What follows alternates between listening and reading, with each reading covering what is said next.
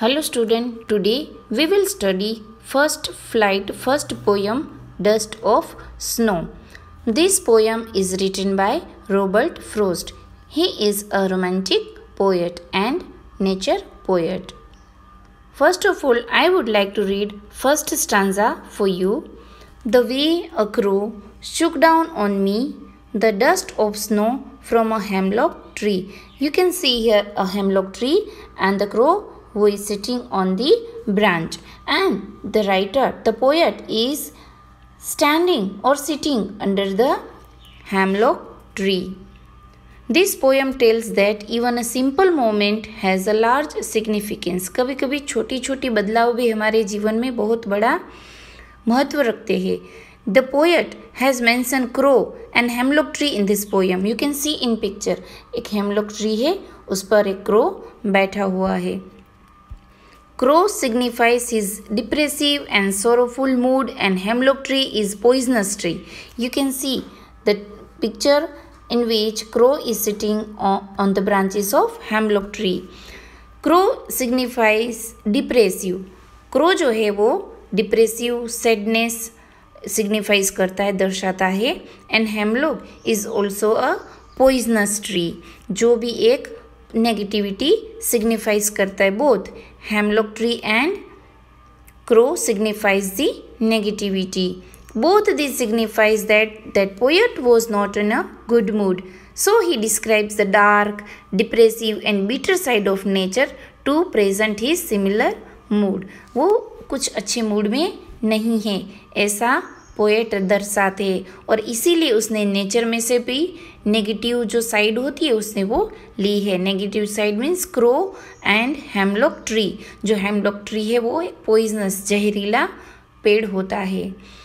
The poet says that once he was in a sad depressive mood and वो sitting under a hemlock tree वो एक बार बताते हैं कि वो हेमलॉक ट्री के अंडर वो बैठे हैं और यहाँ पर ऐसा भी दर्शाते हैं It signifies that he was not in a good mood. A crow sitting on same tree shook off the dust of snow and that moment crow जो होता है वो आकर डाली पर बैठता है एंड सुक द ट्री ही स्टूडेंट यहाँ पर ऐसा नहीं दर्शाया है it does not signifies year कि वो शुक करता है। कहीं कुछ मूवमेंट हुआ होगा या फिर कुछ ऐसा मोशन हुआ होगा, उसकी वजह से जो हेमलॉक ट्री है, वो ब्रांच उसकी शुक मतलब शेक हिलती है। और उसकी वजह से dust of snow fell on the poet dust या यहाँ पर dust it means not that कि धूल, मिट्टी dust means small particles of snow जो डस्ट है, वो स्मॉल पार्टिकल्स ऑफ़ स्नो की है। Small particles of snow that remain on the surface after the snowfall on the poet और वो poet पर गिरता है see the uh, rhyme scheme of the first stanza is crow me snow tree it means that a b a b the rhyme scheme of the first stanza is a b a b crow snow a me tree b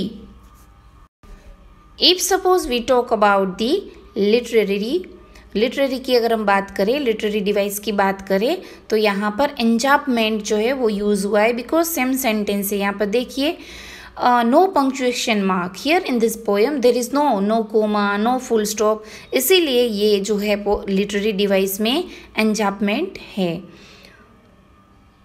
He realise that he had just wasted a part of his day repenting and being lost in sorrow अब second stanza में वो क्या सोचता है?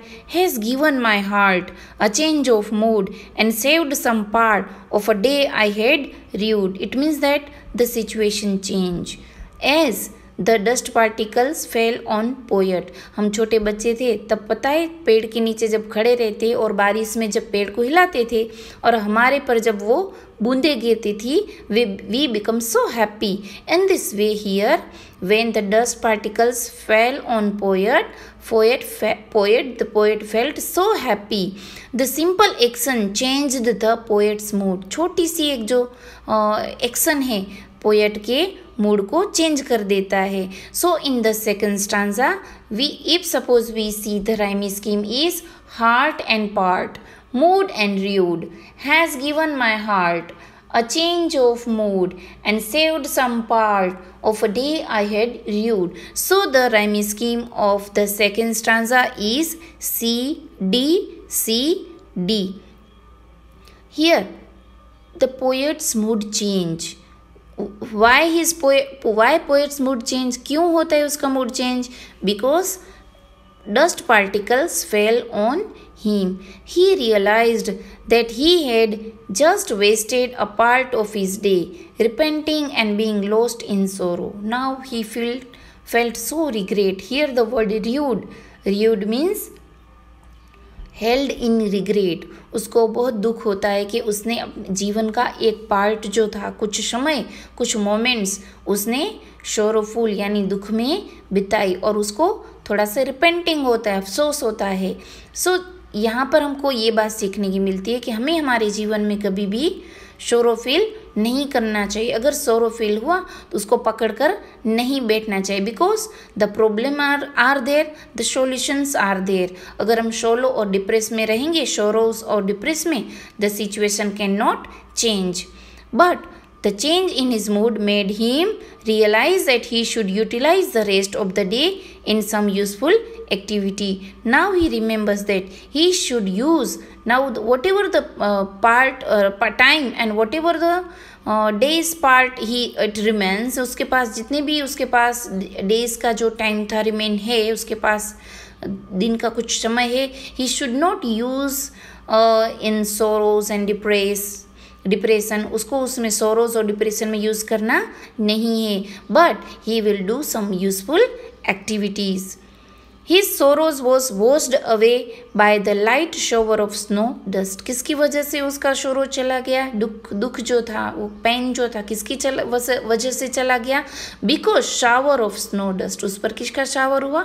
Snow of dust he spirit was revived and he got ready to utilise the rest of the day अब वो एकदम से ठीक हो गए his mood change now he is happy so sadness change into the happiness so here this is really a beautiful poem and this poem mentions that कि हमको इस तरह से हमारा जो जीवन है कुछ समय है दुख और पीड़ा में व्यतीत करना नहीं चाहिए।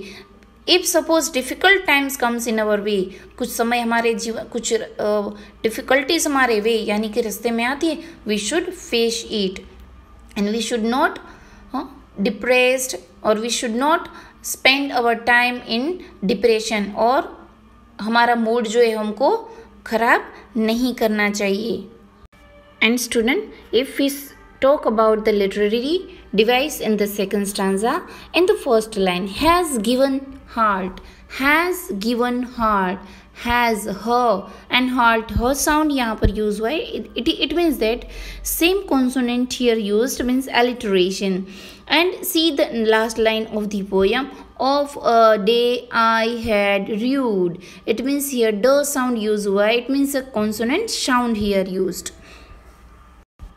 student this is really a simple poem कि टेंथ स्टैंडर्ड में आकर इतने इतने छोटे जो वर्ड है यहाँ पर यूज़ हुए like crow snow and shoe कितनी ईजी पोएम लगती है बट पोएम में लिटरेरी मीनिंग और मेटाफिरिकल मीनिंग अलग होते। See this is a beautiful poem यहाँ पर सिर्फ़ एक स्नो बैठता है और मूड चेंज हो जाता है शुक करता है स्नो गिरता है मूड चेंज होता है। No it is not just like that but here the poet wants to tell us how to deal with the stress कि हमको स्ट्रेस के साथ कैसे डील करना चाहिए। यहाँ पर मेटाफरिकल मीनिंग है, वो है मैटर्स ऑफ़ लाइफ लाइफ के जो मैटर्स होते हैं, उसके बारे में यहाँ पर डिस्कस हुआ है। So this poem has a deep meaning deep message gives us this poem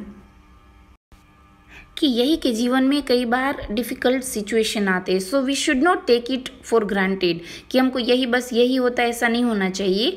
We should change our mood and do some of the useful activities and in this way we can change our mood कि कुछ अच्छी activities करके, कुछ अच्छा कार्य करके हम हमारे मूड को चेंज कर सकते हैं। Nature is really beautiful we should close with the nature और यहाँ पर क्रो और हेमलॉक ट्री जो है, वो भी नेगेटिविटी रिप्रेजेंट करते हैं but they are not the bad things one should lives in present cheerfully हमको शांति से जीवन व्यत शांति से जीवन व्यतीत करना चाहिए।